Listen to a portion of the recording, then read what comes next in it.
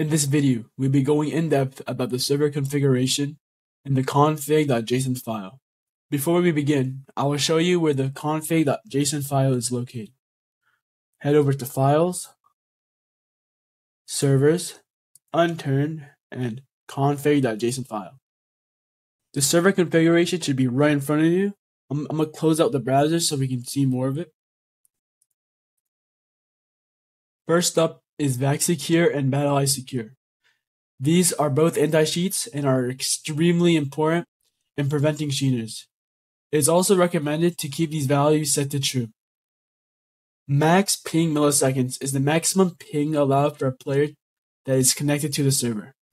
If the player's ping exceeds this limit, they will be kicked from the server. The following message will be displayed in the server console.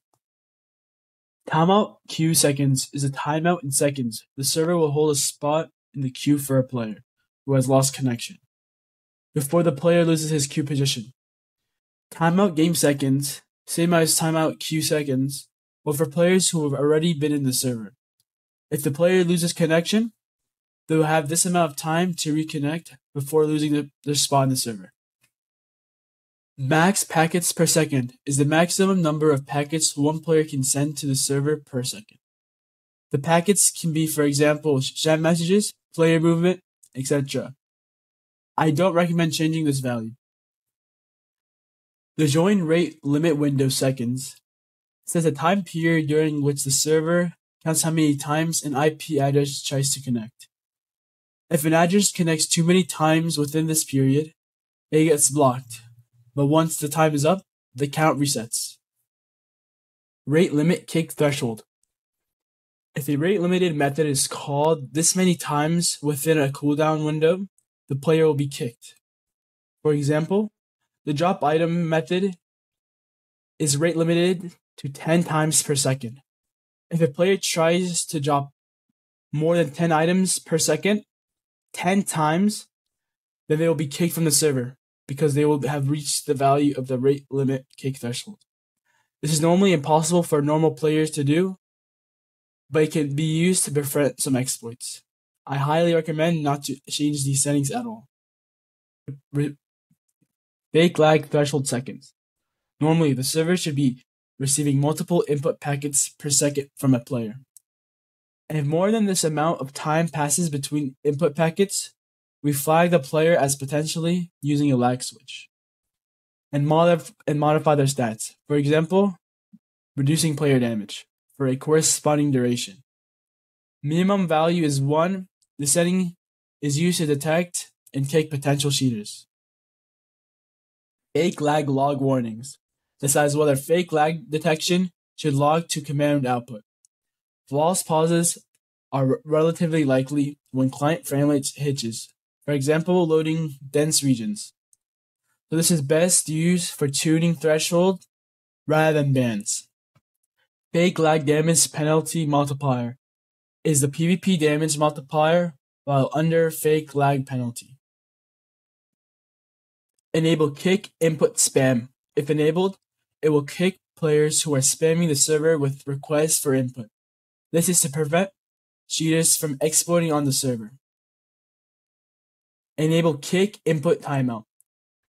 If enabled, it will kick players who are not submitting inputs for a long time. Enable scheduled shutdown. If set to true, the server will shut down at this time specified in the next field.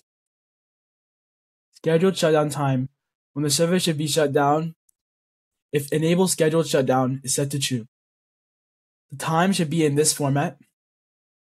Also remember, that it's in the server's time zone. So if your server is hosted in California, the time zone is probably PST or minus 8 hours UTC. Scheduled shutdown warnings. The server will display warnings to players before the server shuts down at the specified time. The warnings look like this in game. Enable update shutdown. If set to true, the server will shut down when an unturned update is released. I highly recommend enabling this option to keep your servers up to date automatically. Update Steam beta name. You only need to change this value if you are using a beta branch of Unturned. Then to enable auto updates, set this value to preview instead of public. Validate econ info hash.